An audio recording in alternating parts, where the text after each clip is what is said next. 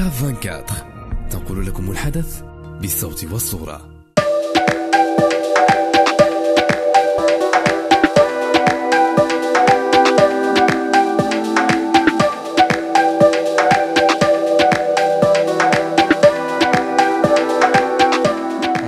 هذا اللي كيهم بالخصوص التلاميذ ديال ثالثه إعدادي. الآفاق من بعد ثالثه إعدادي الشعاب التوجيهات اللي كاينين وكنحاولوا أننا نقدموا لهم ما أمكن من المعلومات بأنه كنعملوا لهم لي ستوند.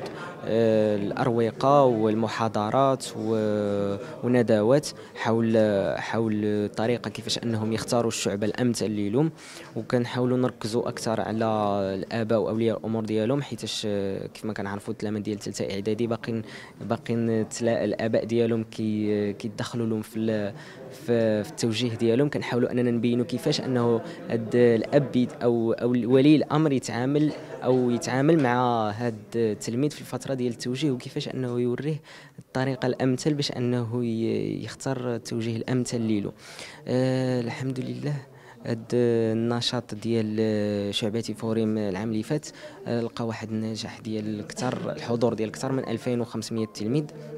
لا من ناحية ديال التلاميذ ولا الأولياء آباء العمر ديالهم كانوا جاوا بزاف لأننا كنعملوا لهم محاضرات على كيفاش أنهم كيف ما قلت يتعاملوا مع الت- التلميذ ديالهم وكيفاش أنهم يوريوه كيفاش يتوجه يعني ما يدخلوا لهمش في التوجيه ديالهم.